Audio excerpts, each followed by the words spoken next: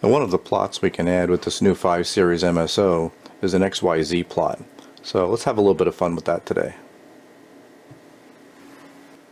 Now to do that I'm going to play with this little circuit I put together a couple years ago that takes a composite video signal and turns it into X and Y scan voltages and as well as the uh, composite video output.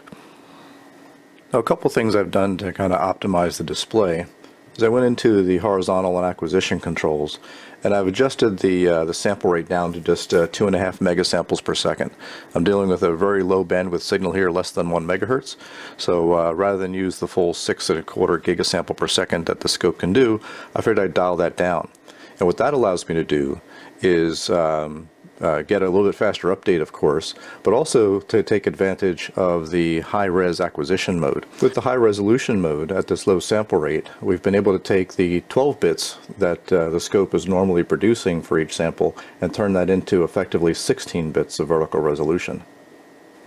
Okay, with those changes made in the horizontal acquisition control, we can close that box. And let's change my trigger to trigger on, say, channel 2 and uh, we'll trigger on the falling edge of that uh, this is essentially the vertical scan voltage that we're getting out of my uh, circuit.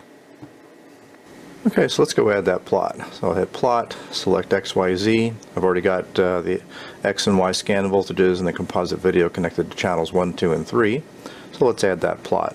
That by default adds it to the top of the display.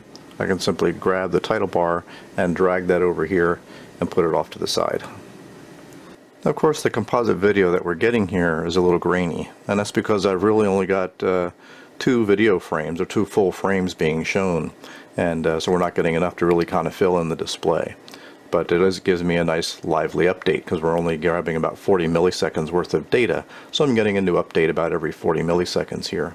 But if we want to fill it in and make it really nice and clean we'll just grab a little more data. If I get up to the point where I'm grabbing almost a half a second 400 milliseconds worth of data so I'm going to get an update every 400 milliseconds, but now that display is going to be much cleaner, much higher resolution, to the point I've got actually a pretty good view of the circuit that's being used to create these voltages in the first place in order to display this composite video. Anyway, just a, a little bit of fun with uh, the XYZ plot mode on the 5 Series MSO. Find out more or contact us through Vicom's website.